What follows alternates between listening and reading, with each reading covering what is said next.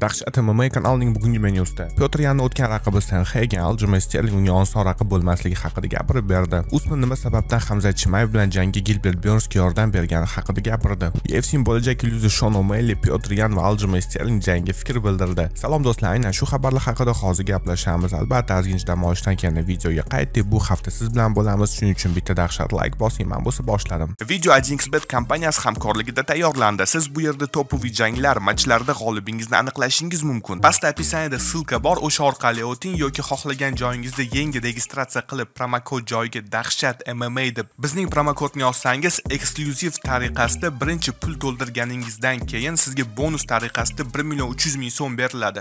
Pyotr Yanni oldingi raqibi Korisen Hagen Pyotr yangi Sterling bilan jang oson bo'lmasligi haqida gapirib berdi. Uning gaplari.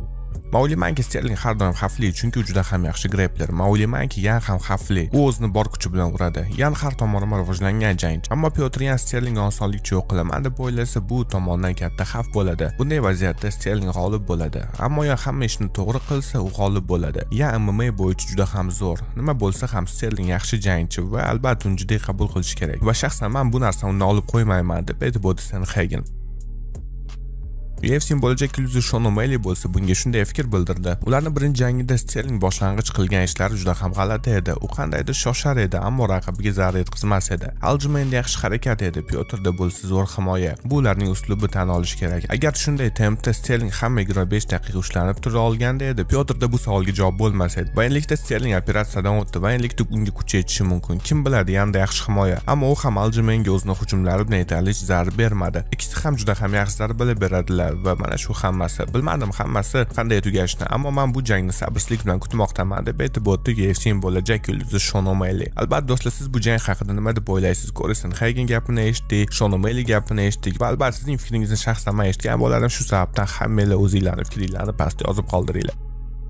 Endi biz asosiy xabar do'stlar, o'rta vazn chempioni Usman nega Hamza Chimayev bilan jangi Gilbert Burnsga yordam bergani haqida gapirib berdi. Gilbert bu jangga tayyorgarlikda mandan yordam so'radi. Men unga rad javobni bera olmadim. U ham bizni jangimiz bo'lishidan oldin menga juda ham ko'p yordam bergan edi. Shunga bu narsa yaxshi. Bizda u bilan yaxshi munosabatlar. Biz buni ustida yaxshi ishladik va bilasizmi nima deb o'ylayman? man o'ylaymanki Hamzada katta muammolar. Mana shunday o'ylayman. Gilbert zo'r formada. Men u bilan kurashishim qiyin edi. Albatta meni holatim hozir cho'qqida emas. Gilbertda bo'lsa hozirda holati cho'qqida va men Gilbertdan hayratdaman. U juda ham zo'r ishni qilmoqda va juda ham tez. U bizni jangimizda menga qattiq tushgan yagona bola edi. U menga qaltis tusha olgandi, ya'ni uni zarbasini men ko'rmagandim. Albatta men Kolbidan ham, Maystildan ham zarbalar o'tkazganman, ammo ularni har birini ko'rganman. Gilbert bo'lsa menga zarba berganda, u juda ham tezkor edi. Men uni zarbasini ko'rmagandim. Albatta tezlik o'zini ishini qiladi, ammo kurashda ham u boshqacha. Agar Hamzat Gilbertni kurashda yo'q qilsa, men unga hurmat ko'rsataman. Chunki Gilda hozir juda ham zo'r forma. Gilbert Hamzat Gilbertni yo'q qiladi. Albatta bu jangda hamma narsa bo'lishi mumkin ammo nega ko'pchilik Gilbertga yetarlicha baho bermayaptilar? Bu juda ham muhim jang bo'ladi. Hamza shundoqqina chiqib Gilbertni osonlikcha yo'q qilishga ishonmayman buni eslab qoling bu boshqa daraja. Mana hamzat bilan potensial jangimizga keladigan bo'lsak man o'ylaymanki bu jang haqida gapirsam Gilbertga nisbatan hurmatsizlik qilgan bo'laman. U mag'lub bo'lishga ishonsam nega man hamzat bilan jang haqida gapirishim kerak?